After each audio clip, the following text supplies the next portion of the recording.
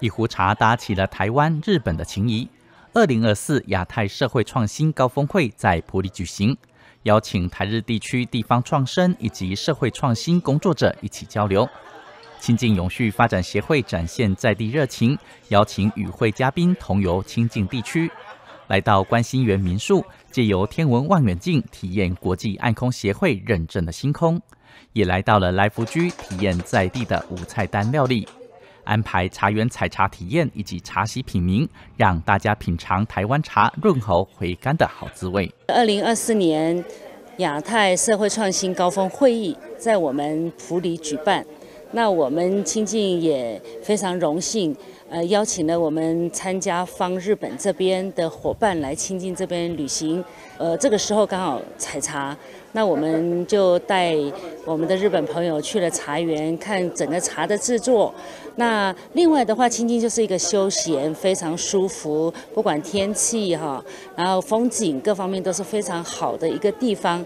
那我们这次呢，也在呃各个民宿里头，让日本朋友去体验一下清静舒适的一个呃旅游。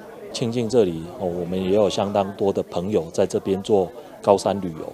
那希望透过这样的机会，邀请他们来台湾的同时，也可以到我们清境地区跟我们相关的业者来做一些交流。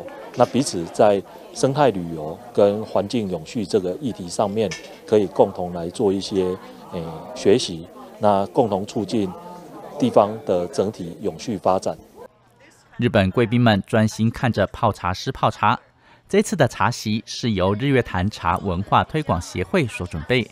以在地的高山乌龙以及日月潭红茶作为品茗主轴，邀请日本嘉宾体验台湾在地生活茶的轻松与自在。今天呢，用我们的这个生活茶的方式，台湾的茶席风格来招待我们今天的贵宾，让他们来体验我们的生活茶。呃，不同的一个茶席方式。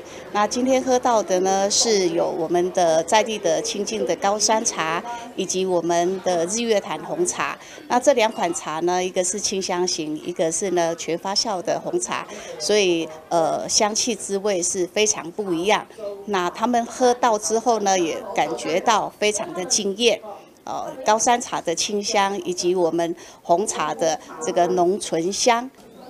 我是来自那个九州柳川市的藩主的后代，那我是呃立花千月香。这次呢也进到了，就是这次体会那个茶的老师，然后来帮我们泡茶。我感受到台湾的茶的味道是非常香的。呃，在每一次呢，在浸泡之后的味道，大概有四四次或五次以上呢，每一泡的味道都是不同的。行政院委托新故乡文教基金会举办二零二四亚太社会创新高峰会，邀请亚太地区十三个国家产官学社一百一十四位讲者来台参与交流。亲近永续发展协会更是借由这次难得的机会，邀请贵宾体验南投高山景致。除了做好国民外交，也让国际游客对南投留下美好又深刻的印象。记者张东仁仁爱香采访报道。